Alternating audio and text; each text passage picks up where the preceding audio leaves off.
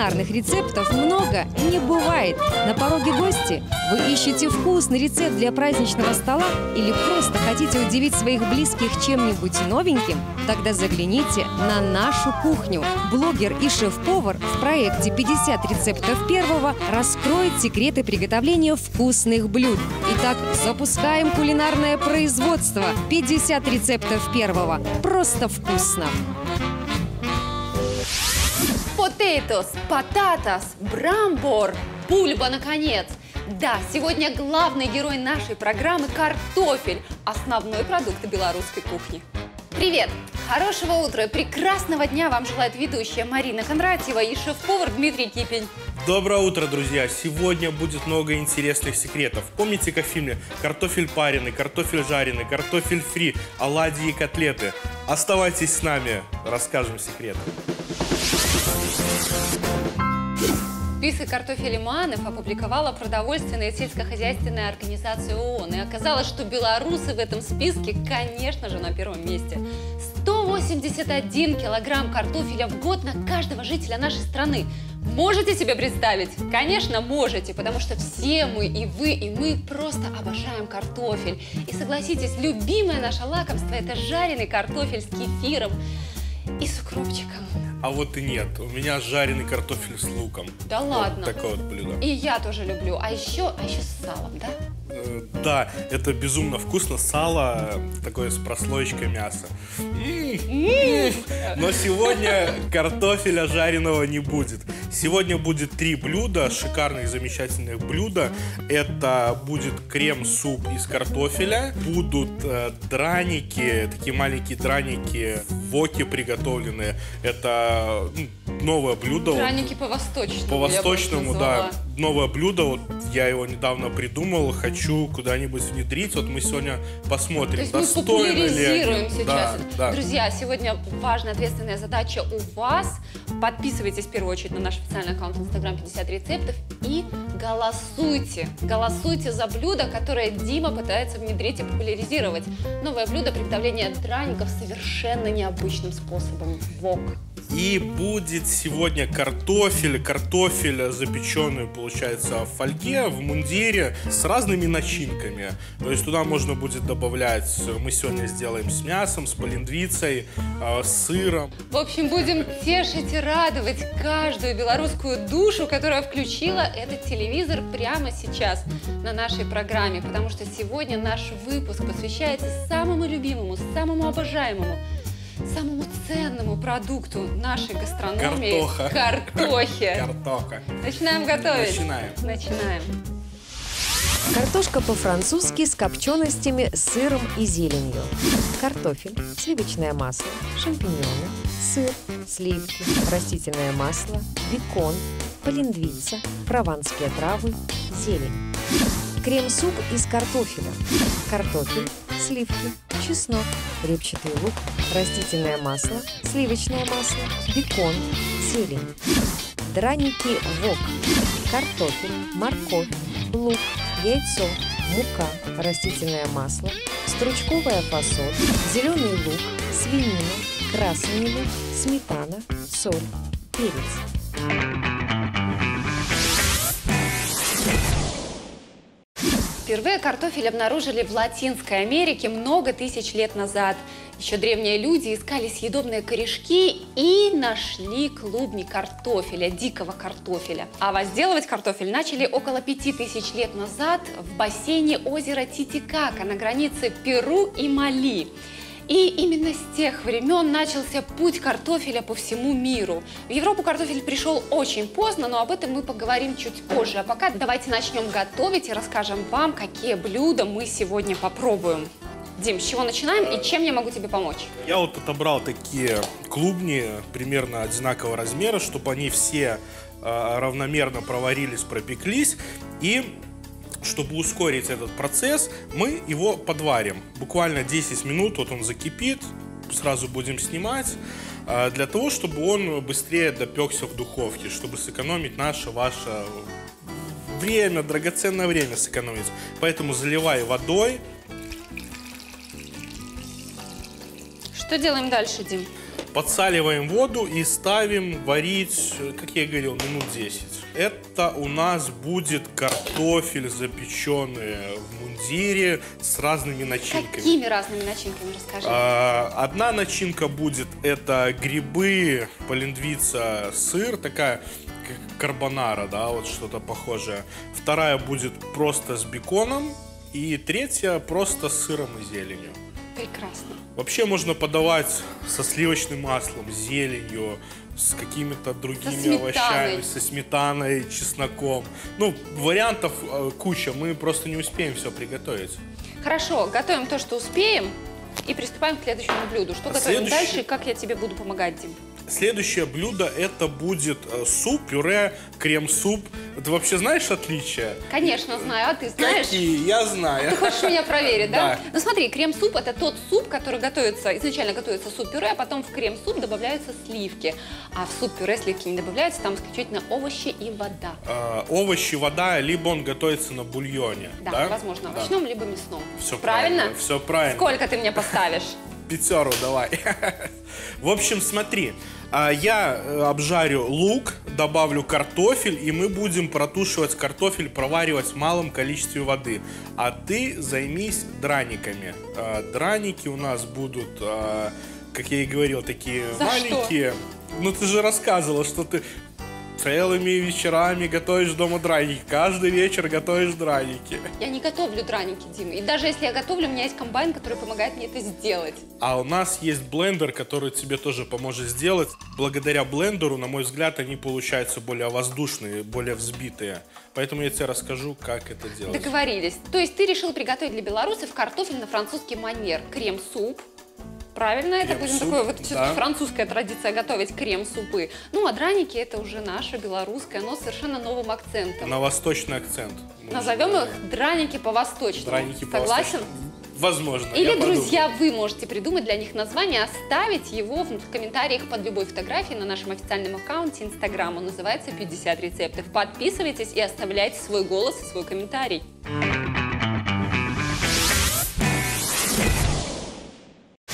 Дима, я так понимаю, что я занимаюсь тем, что измельчаю картофель для драников. Абсолютно правильно. Я обжариваю лук для супа. Э, Мы будем перебивать все вместе, чтобы масса не чернела. Все знают, да, надо Начинаем добавлять с лука. лук. А для тех, кто не любит лук, можно использовать лимон. Немножечко сока лимона в емкость, которую будете, которую будете натирать картофель, и следом картофель. Опять немножечко лимона и следом картофель.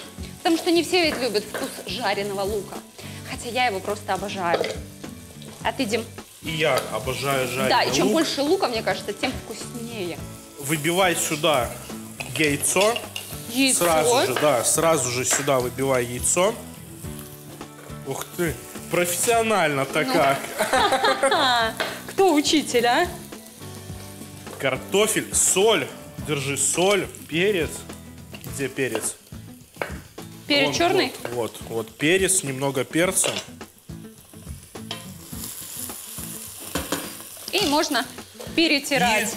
Для цвета морковку. Да ладно. Морковку, да. Картофель, морковь. Ты никогда не добавляла морковь? Никогда. А вот, видишь, сколько еще секретов. Ну это уже не драники, это уже какая-то другая история. А вот и нет, А, это ладушки. драники. Это драники, немножко моркови для цвета. Ну давай поп- Перебивай. попробуем, что из этого выйдет. Итак, друзья, начинаем перебивать картофель.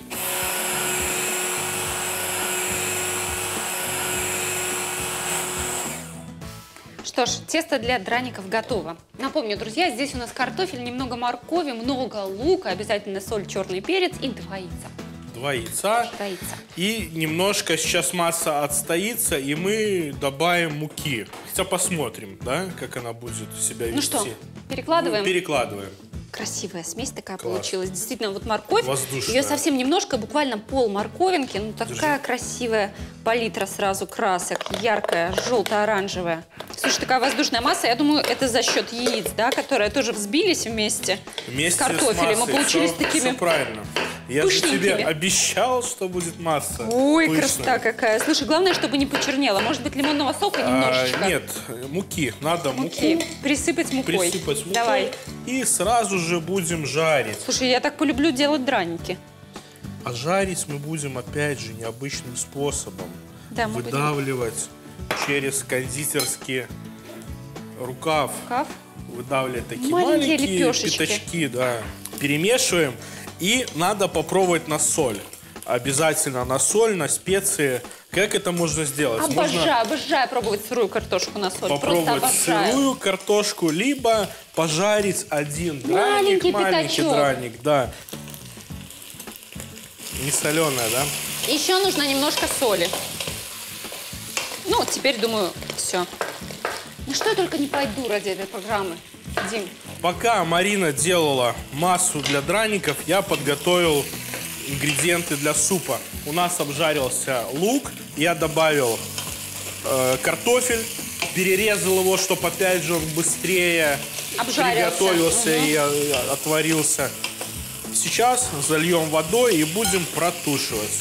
Итак, вот наш обжаренный слегка с луком картофель. Вот наш картофель, который варится для того, чтобы его нафаршировать. А это мое тесто для драников.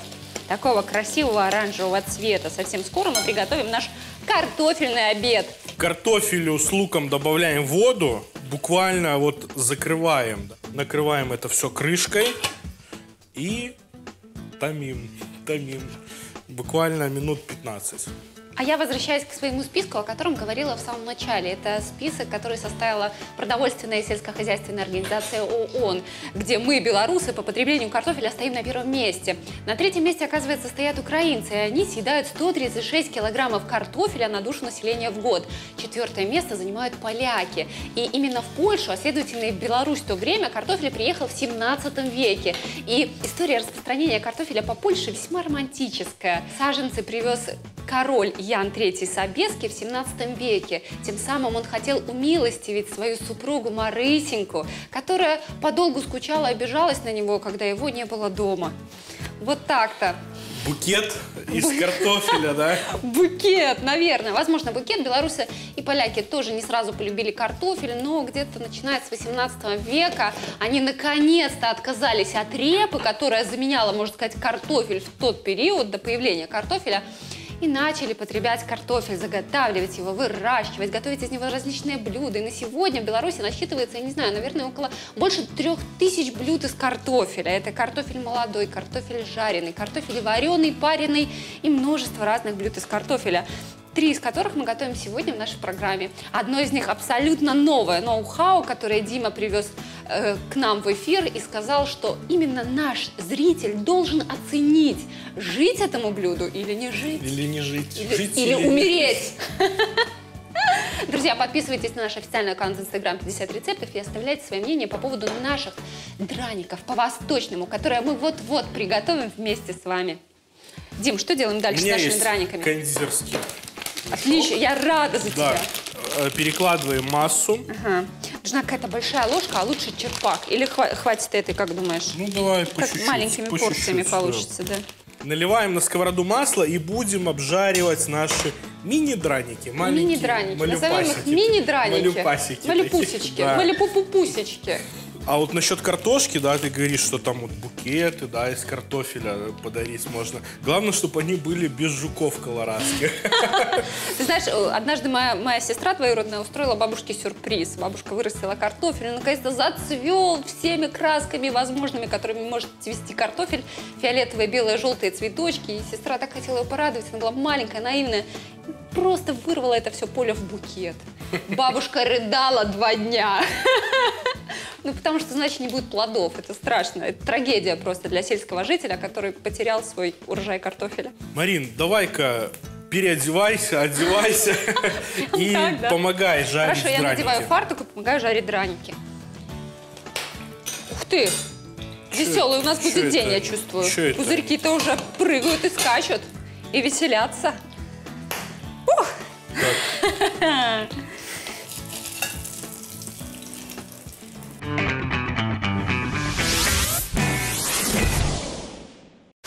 Итак, друзья, настало время попробовать наш маленький драник и определить, чего нужно добавить в тесто, а чего убавить.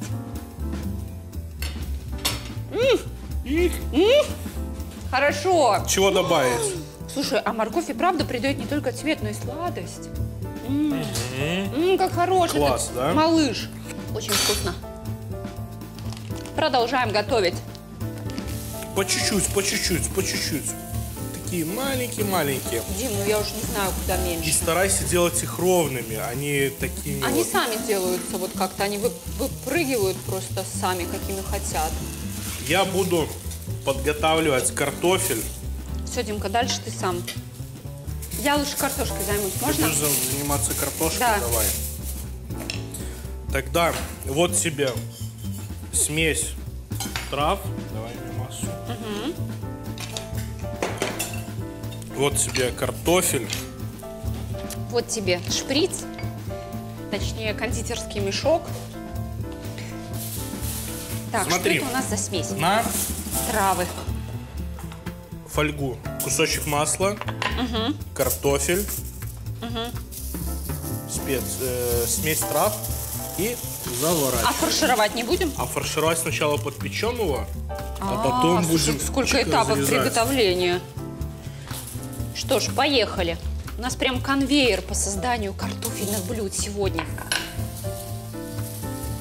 Смесь трав сухих. Дима, вот ты вот это новое блюдо придумал, картофельное, вот эти мини-драники. Куда ты хочешь его внедрить? Расскажи. Я хочу готовить его как уличная еда, отдавать таких в коробочках.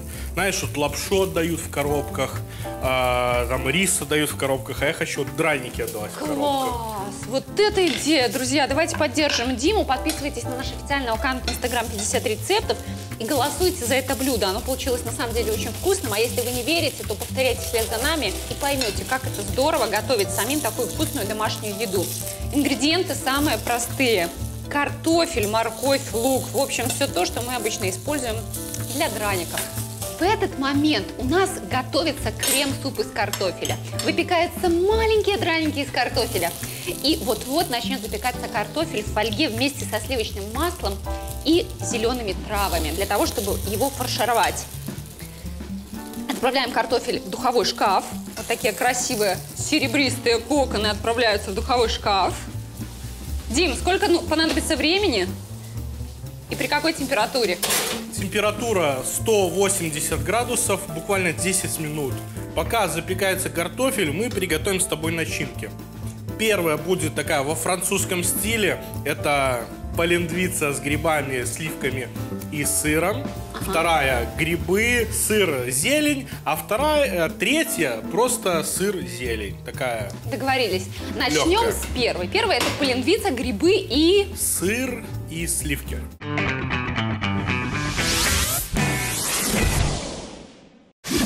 Дим, какого размера нарезаем полиндвицу? Соломочкой. Соломочкой. Соломочкой. Соломочкой.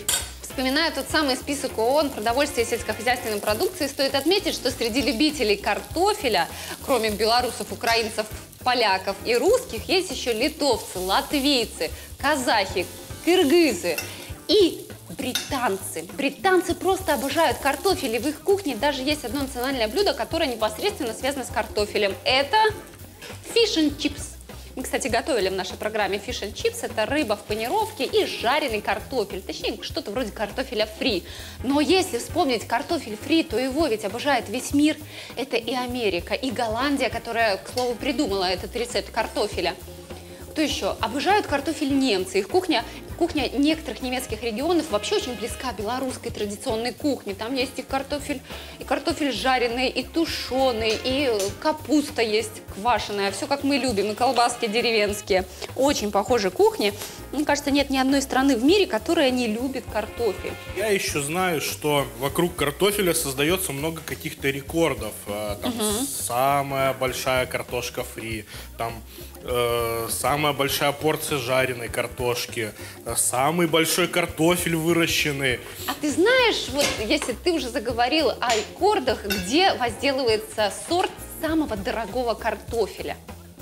Наверное, во Франции. Вот, Вот. почему-то вот мне кажется. Вот прям да. почувствовал, как будто. И сорт этот, килограмм этого картофеля стоит целых 500 евро.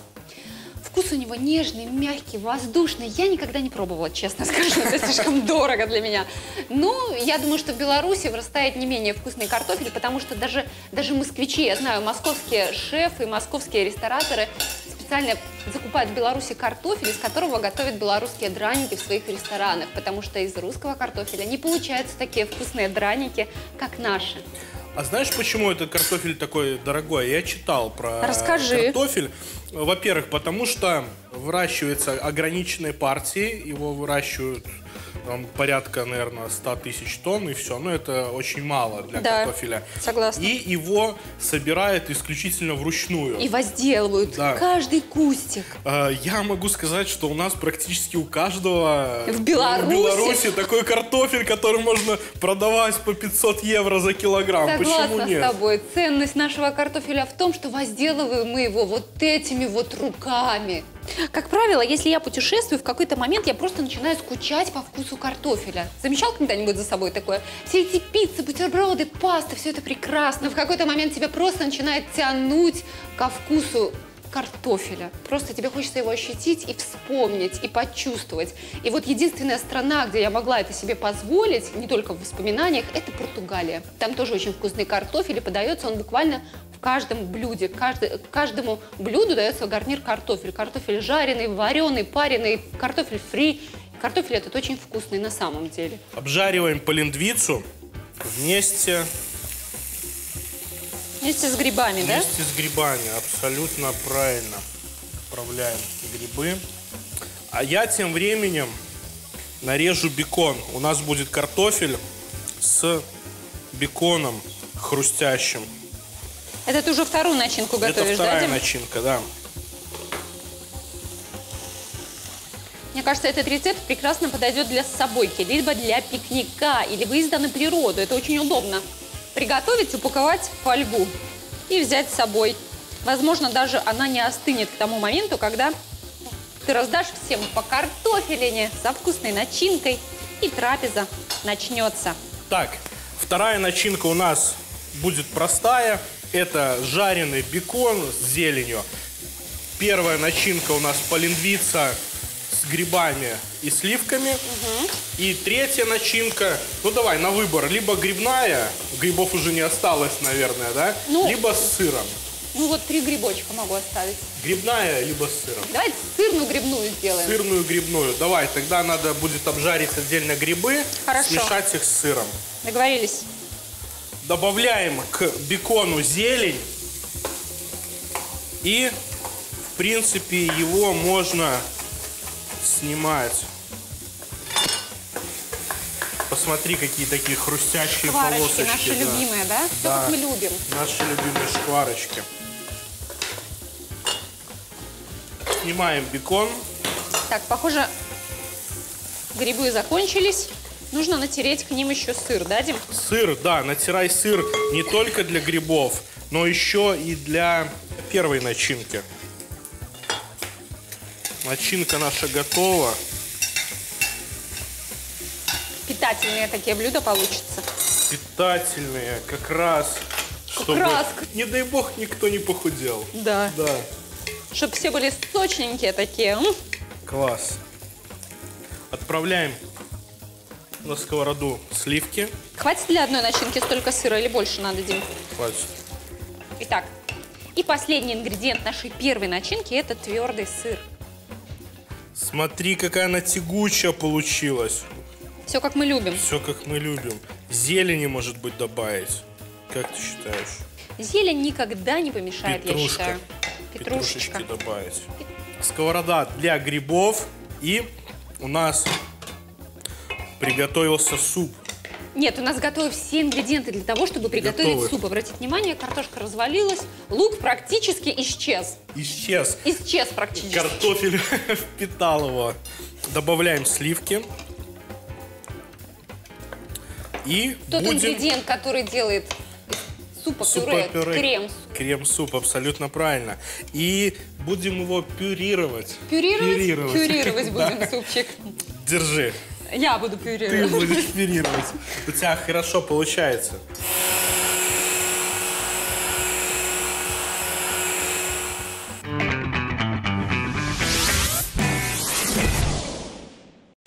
Суп готов, картофель готов, готов к фаршированию, наверное. Подожди, Марина, стой.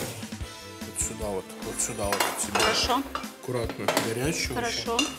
Суп нам необходимо добавить еще Воды, наверное. чеснок. А, чеснок. Чеснок. Дай мне масло сливочное, я обжарю чеснок. И, а ты пока обжари грибы. Договорились. Итак, обжариваем грибы для нашей сырно-грибной начинки.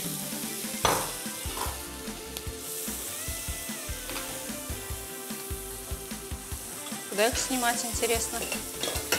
Вот сюда. Пересыпай грибы. Лук я обжарил Так. со сливочным маслом и отправляю сюда еще зелень. зелень. Ух, как Это красиво!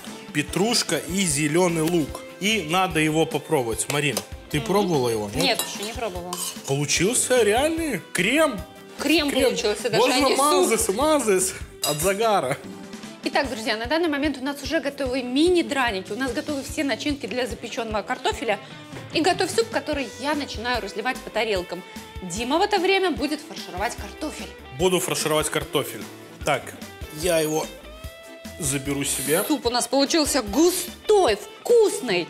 И мы решили подавать его со шкварочками, посыпать его сверху шкварками, чтобы вкус его был окончательно дополнен.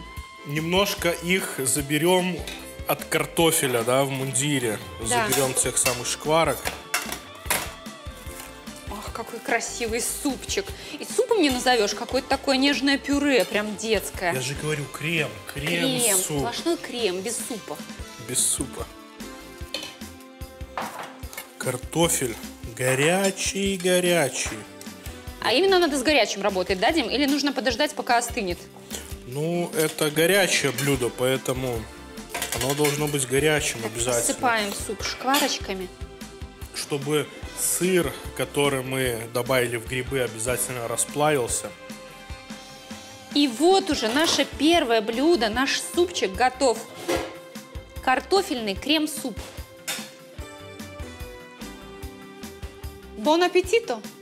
Обрати внимание, Марина, как я это делаю. Я разрезал картофель и буду вот так вот сдавливать. Раскрывать его. Вот так вот, да. И поддавливать. Оп, поддавливать. А зачем? Чтобы зафаршировать его. Давай покажем, как ты это делаешь нашему зрителю, потому что я думаю, ему будет интересно узнать технологию приготовления, а не только рецептуру. К слову, друзья, все технологии приготовления вы можете пересмотреть на YouTube-канале «Беларусь-1», куда мы выгружаем все видео наших программ в отличном качестве. Подписывайтесь на YouTube-канал «Беларусь-1», ставьте нам лайки, пишите свои комментарии, оставляйте свои какие-то рекомендации, советы, секреты, возможно, семейные рецепты, которые мы приготовим здесь, в эфире телеканала «Беларусь-1» и прославим вас и вашу семью. Итак, Дима, у нас три начинки. У нас сырно-грибная начинка, у нас полиндвично-грибная начинка и у нас начинка Бекон, из бекона. бекон. Да. Ну, что как не бекон, подходит к картофелю. Вкус у картофеля лучше всего. Разве что укроп и кефир. Ты прям так вот щедро нам так... Четыре. По пять. Так, о, По пять Дима, получается. остановись. Каждому Что ты с нами по делаешь? По пять. Дим, ты что, хочешь, чтобы я Чтобы ты, да. стала как ты? Да. Большой и убедительный? Почему бы и нет? Выкладываем начинку. Суп наш готов. Вот-вот будет готов фаршированный картофель. Драники нам осталось слегка обжарить в сковороде вок, и наш обед будет готов. Мы предлагаем вам три рецепта. Три рецепта блюд из картофеля, абсолютно новых, вкусных, неожиданных и где-то, наверное, не таких уж и сложных. Поэтому готовьте для своих близких, заимствуйте у нас рецепты, ищите их на официальном аккаунте Instagram 50 рецептов и на YouTube-канале телеканала «Беларусь-1». Мы продолжаем готовить и буквально через две минуты уже начнем дегустировать самая приятная часть нашей программы.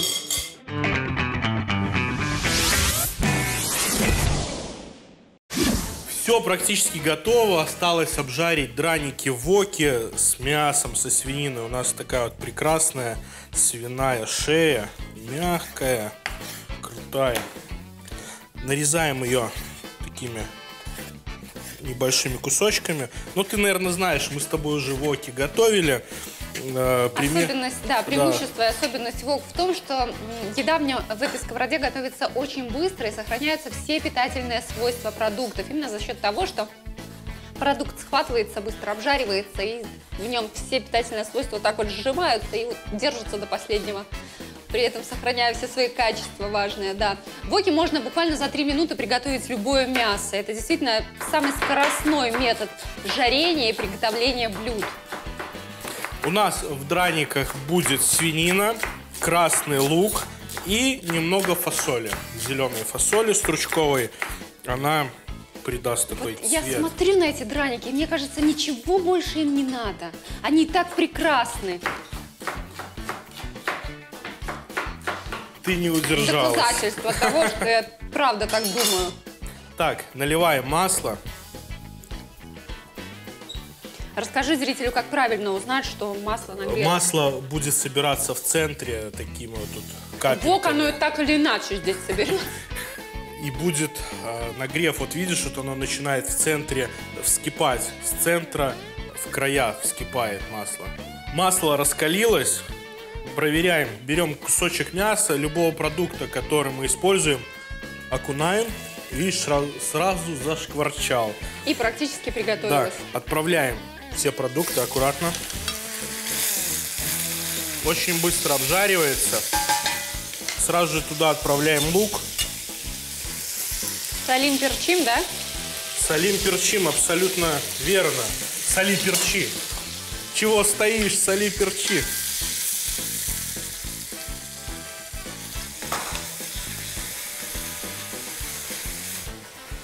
Буквально несколько секунд, и видишь, свинина готова. Готово, да. Не прошло и двух минут, друзья. Добавляем Продукты фасоль. приготовились. Восточное, пока восточное блюдо. Вот сейчас лапшу закинуть и получится вок. Обычный вок. Да. Но мы закинем, закинем драники. драники.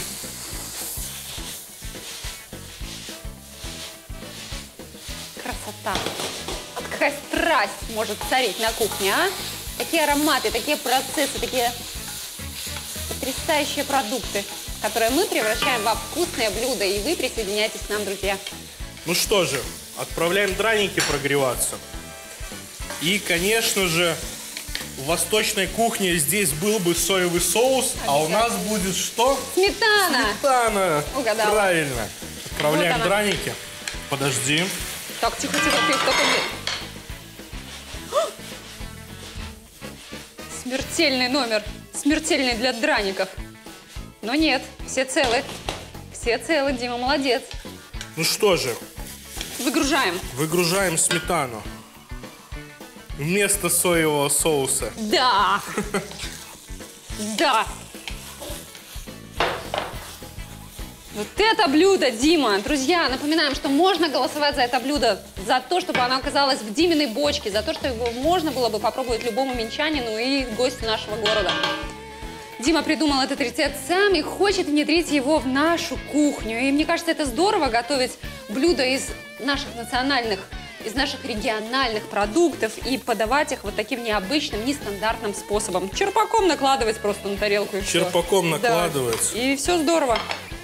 Итак, объявляем наш картофельный выпуск практически закрытым. Вам осталось побыть с нами буквально три минуты, чтобы убедиться в том, что вкусы этих блюд действительно совпадают с нашими ожиданиями. Мы расскажем вам правду, никуда не уходите.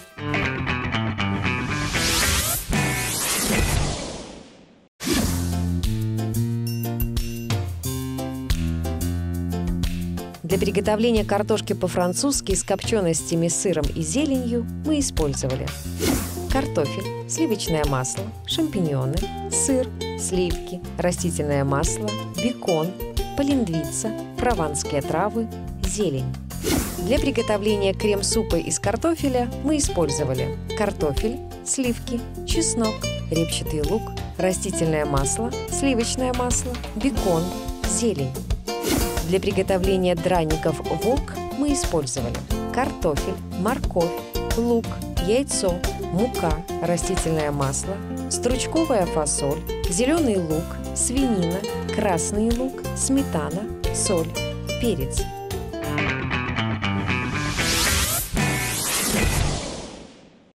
Сегодня у нас самый белорусский выпуск программы «50 рецептов первого», потому что все наши блюда приготовлены из картофеля. Они абсолютно новые, необычные, уникальные и в некотором роде даже, наверное, экзотические. Хотя приготовлены все из картофеля.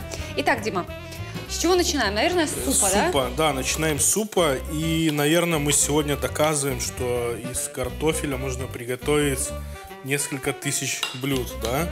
Три мы уже сделали, осталось Дима, как вкусно. бекон придал копченость, насыщенность Пикантности такой, мясную, вкуса, мясную да. такую пикантность. Переходим к драникам.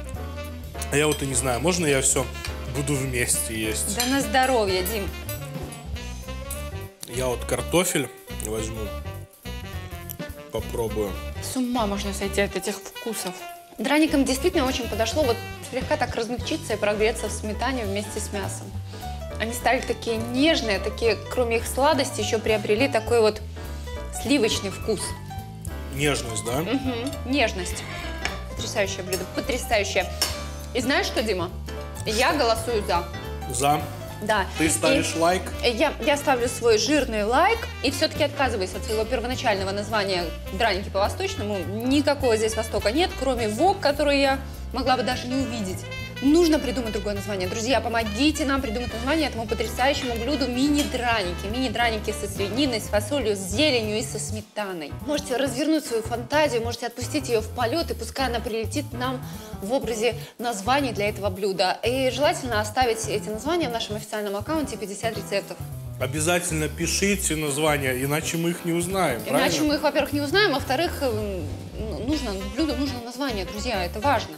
Итак, картофель. Едим картошку. Все нужно попробовать, да? Меня Всё. уже не хватает. Тебя? Да, да, а представь, попробовать. как мне приходится. В процессе приготовления я пробовал, пробовал и наелся. И, наконец, попробовал. Что ты ешь, расскажи, с чем ты ешь? Что-то очень вкусное, с грибами и с сыром. Я не знаю, что, что может быть вкуснее картофеля. Очень вкусно. Дима, очень вкусно. Друзья, пишите нам в Инстаграм, готовьте с нами просто вкусно. Не забывайте о том, что мы есть на YouTube-канале «Беларусь-1», а здесь мы всегда ждем вас по выходным на телеканале «Беларусь-1». Готовьте с нами, готовьте просто вкусно. До новых встреч! Приятного аппетита!